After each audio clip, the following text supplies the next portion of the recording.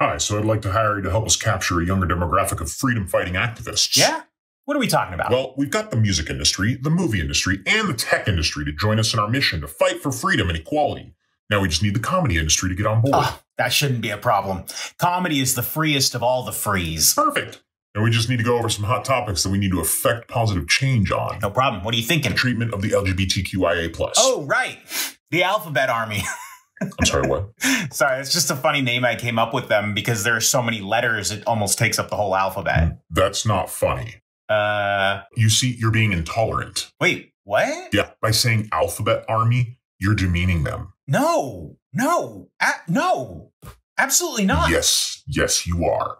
By calling them the alphabet army, you're demeaning the cause. What cause? If you have to ask, then you do not understand. Understand what? Raymond. Uh, it's comedy.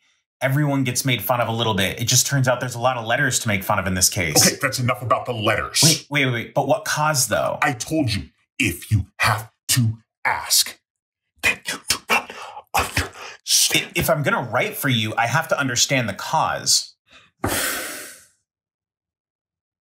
To make people more tolerant of them. But then they have to be treated like anyone else. Exactly, you get it. Perfect. Then we can call them the Alphabet Army. No, Why not? because they're not being treated like everyone else. I would make fun of anyone I could think of a funny name for. Then why don't you have a funny name for everyone? Because we're not talking about. Clearly, you do not understand. If I'm going to make everyone cool with them, then I have to be able to make fun of them just like anybody else. And maybe that's not what we want. What the fuck do you want?